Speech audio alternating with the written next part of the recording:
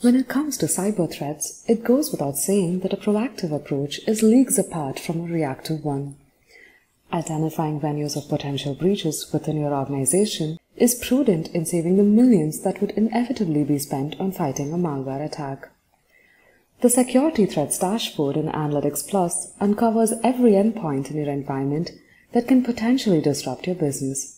The KPI widgets at the top of the dashboard provide a great overview of the state of security policies and practices in your environment.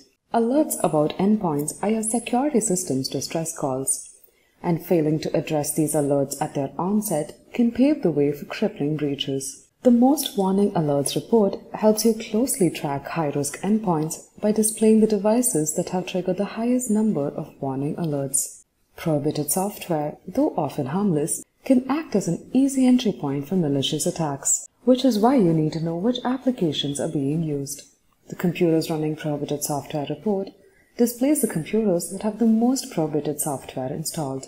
Another gateway for cyber threats are USB ports through which malicious IoT devices can be connected. While identifying and monitoring every IoT device in your secure environment may be difficult, the Computers with the most USB connections report enables you to keep an eye on USB connections to identify potential threats. However, to identify any of the above-mentioned risk factors in an endpoint, the computer must be in frequent contact with your endpoint management software.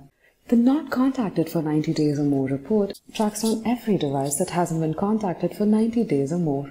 Loss of contact for a prolonged period also results in critical patches being missed, which leaves the door wide open to cyber attacks. This dashboard was built using Analytics Plus, ManageEngine's business intelligence and analytics solution. Desktop Central users can access this dashboard along with numerous other pre-built reports in a matter of minutes. To do this, open your Analytics Plus application Select the Desktop Central tile from the Import Your Data screen and follow the on-screen instructions to set up this integration.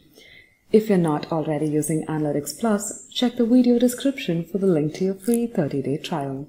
This was IT Analytics in 90 seconds. Thank you for watching and don't forget to subscribe to our channel to receive alerts for future videos.